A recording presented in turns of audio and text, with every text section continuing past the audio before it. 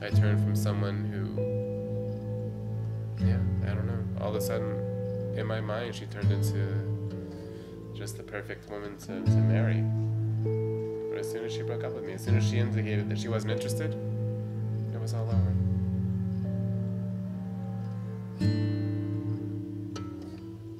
All my breaks have been painful, but there, there's a, a certain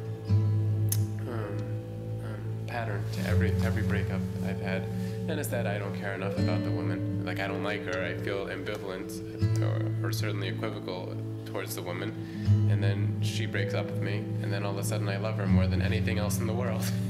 and it's happened with Kristen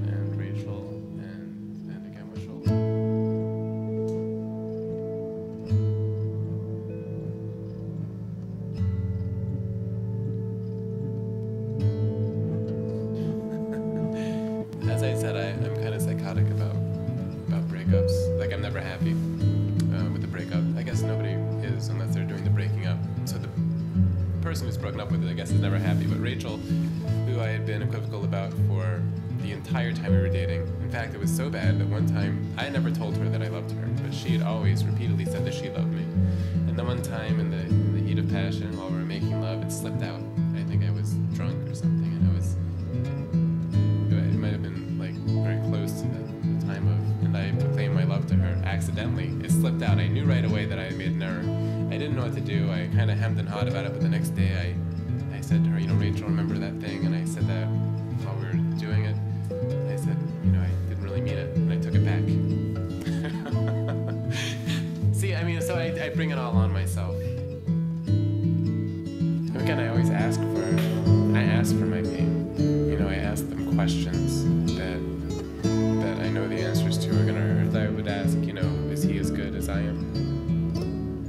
To which the answer was no, but then there was a caveat or an addendum, which was no, but um, he's more enthusiastic, or he, he can keep, he can keep up with me, is what she said, indicating that we're having sex like six or seven times a day, which I really didn't need to hear.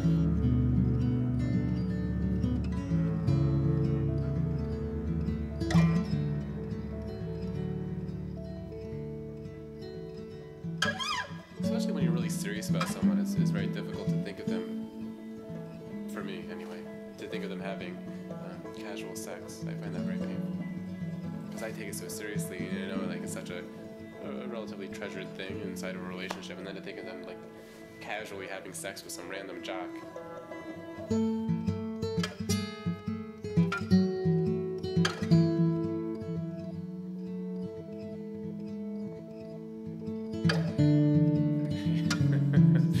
yeah, I really wasn't into her until she broke up with me, and then I literally proclaim my love. I have a catalog and emails of just this, these really melodramatic uh, emails proclaiming my love and how she had stepped on my heart and how she would regret this one day, which is which is the mantra of every broken-hearted person. One day you'll regret this, right? Um, the most vexing thing about up with me is I recognize my psychosis. I recognize how insane it is. But I still continue to feel that way. Which is, yeah, really stupid, like really animal.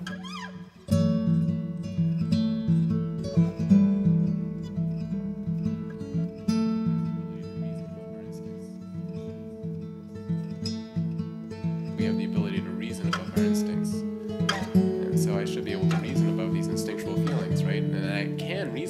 it, still doesn't change my feelings, my emotions. It's really upsetting to recognize. uh, To recognize.